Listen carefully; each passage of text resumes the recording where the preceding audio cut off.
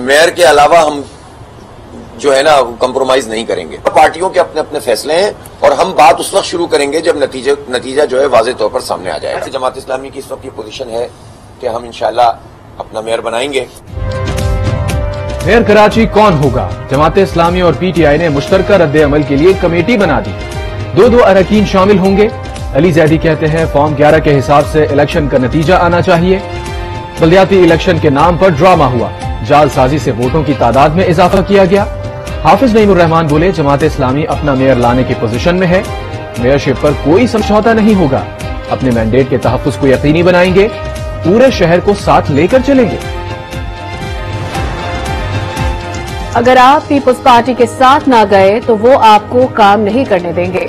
सहाफी का हाफिज नईम से सवाल।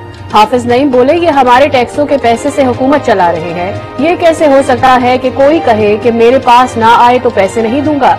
ये किसी के वालिद साहब के नहीं हमारे टैक्सों के पैसे हैं, जो हमारा हक बनता है, हम लेंगे।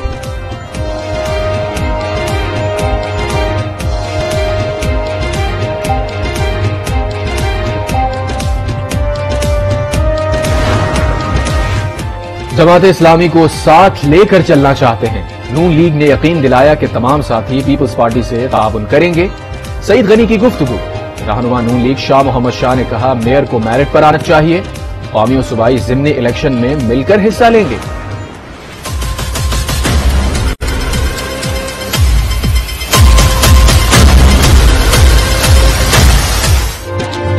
आज़म खान खैबर पख्तूनख्वा के निगरा वज़ीर आला बन गए। आज हल्फ उठाएँगे। आज न्यूज़ से गुफ्तगु में कहा, शफाफ इंतबात का इनका यकीनी बनाएँगे। इलेक्शन कमीशन को हर किस्म का ताउन फराहम करेंगे। महँगाई को कंट्रोल करने पर खसूसी तवज्जा देने का आज़म।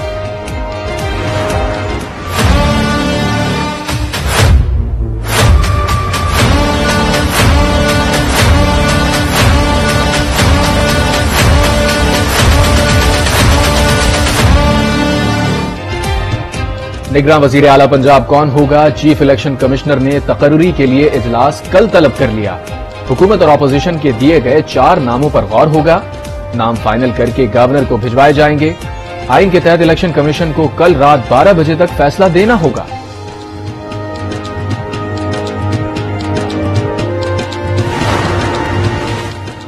इस्तीफों के मामले को अदालत में चैलेंज करने का कोई इरादा नहीं। अब मंजिल करीब है, फवाद चौधरी का ट्वीट लिखा पंजाब और खैबर पख्तूनख्वा में आम इंतबात का ढोल बच चुका है। मुसरत चीमा बोली, मुल्की मसाइल का वाहिद हल, साफ़ और शफाफ इंतबात है। इमरान खान के खौफ ने इम्पोर्टेड हुकूमत की नींदें हराम कर दी। शाह महमूद कुरैशी की तनकीद शेख रशीद ने ट्वीट में लिखा, स्पीकर ने थोक के भाव इस्तीफे मंजूर करके नया सियासी बहरान पैदा किया। इलेक्शन करवाना होगा, चोरों को भगाना होगा।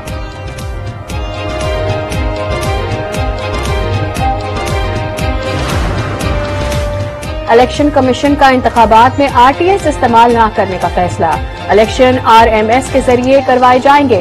इलेक्शन कमीशन ने आरएमएस को मॉडिफाई करने के लिए ठेका भी दे दिया। जदीद आरएमएस पहले जमनी इंतखाब में इस्तेमाल होगा। बलूचिस्तान का माली बहरान बढ़ रहा है। मसले हल करने में सुस्त रवि से काम लिया जा रहा है। वज़ीर आला बलूचिस्तान अब्दुल कुद्दूस बजिंजो का वीडियो बयान। कहा, गुजश्ता माली साल के 20 अरब और नवा माली साल के 30 अरब के वाजबात भी अदा नहीं किए गए।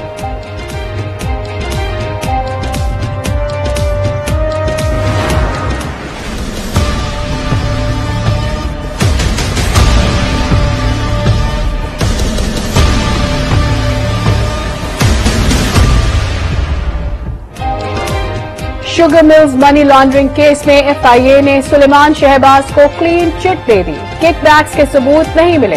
स्पेशल सेंट्रल कोर्ट लाहौर पे चालान पेश। अदालत ने कहा चालान के मुताबिक सुलेमान शहबाज और ताहिर नकवी का केस से ताल्लुक नहीं है। मुलजमान ने जमानत की दरख्वास्त वापस ले ली।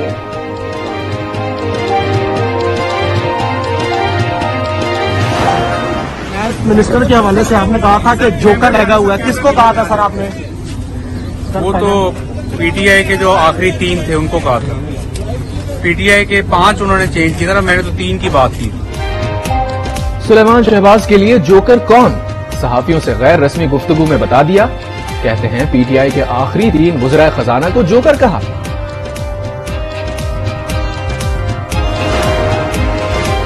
कराची की मकामी अदालत में सईद गनी और हलीम आदिल शेख ने एक दूसरे को गले लगा लिया। हलीम आदिल शेख के खिलाफ हतक के इज़्ज़त केसेस की समात अदालत ने कहा, दिल बड़ा करके एक दूसरे को माफ़ कर दें। सईद गनी कमरा अदालत में ही हलीम आदिल शेख से गले मिले।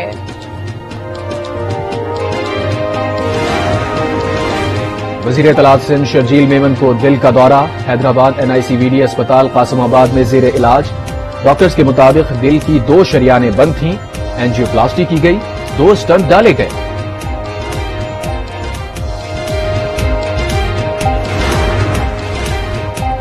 के इलेक्ट्रिक अपना किबला दुरुस्त करे, किसी माफिया को बर्दाश्त नहीं करेंगे। गवर्नर सिंध कामरान किशोरी का दो टोक पैगाम, पाक चाइना फ्रेंडशिप पार्क का इफ्ताह कर दिया कराची में पार्क को दोबारा बहाल करने और शहर को ग्रीन एंड क्लीन करने का आज़म। कहा, कराची की बेहतरी और तरक्की के लिए हर मुमकिन कोशिश कर रहे हैं।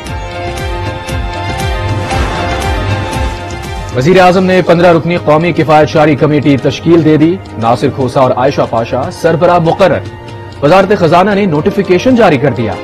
कमेटी सरकारी अखराज में कमी, माली नज्म जब्त की सिफारिशात मुरतब करके पंद्रह रोज में वज़ीर आज़म को पेश करेगी।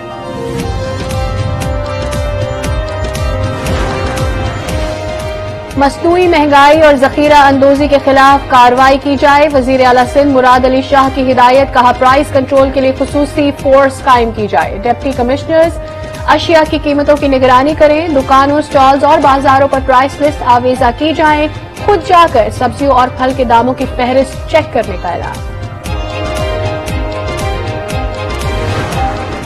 तकरीबन 50-50 रुपए का इजाफा हुआ है ना। अब मार्च दाल थी वो 360 की थी 400 तक चली गई है। घी है कितना महँगा हो गया है?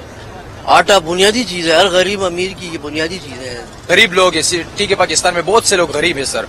उन लोगों का क्या होगा सर? तो इन लोगों के लिए चाहिए कि हाँ हम पर रहम करे सर। दालें देखे चीनी देखे गरीब बंदा खा सकता था। कल मैं एक सौ दस रूपए किलो चीनी लेके आया सब्ज़ियाँ दालें गोश्त फल हर शय आवाम की पहुँच ऐसी दूर। कोयटा पिशावर समेत मुल्क भर के शहरियों की ज़िंदगी मजीद मुश्किल। लाहौर में रोटी सोलह रुपए और नान की कीमत तीस रुपए।